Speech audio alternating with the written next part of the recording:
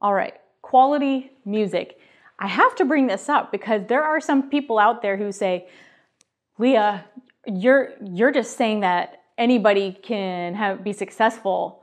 No, I'm not actually. The very first rule or requirement is that you have quality music, music that people want to hear, that touches their soul, music that moves people. That's the whole point of music. So, if your skill set is lacking in even creating good music, whether it's instrumental or you're just a singer or you're a lyricist or whatever you are, if your skill is lacking at that very base, this is where you're gonna start.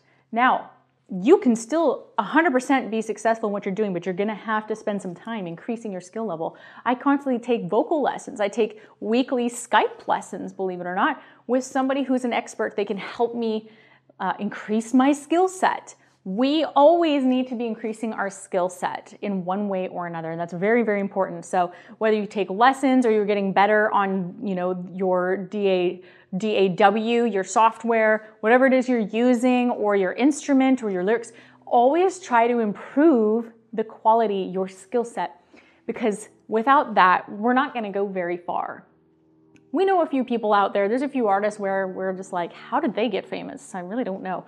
Well, because they had a huge marketing machine behind them that made it familiar enough for people to like it. But we are not going to act or pretend that we are a big corporate label. We're not approaching it that way. We're approaching it as like a grassroots movement. Okay? So from here on out, you need amazing quality music that can become like a little micro economy. So, quality music is number one. Nothing else can happen if we don't have music that people love, that moves their souls, that they want to share with their friends.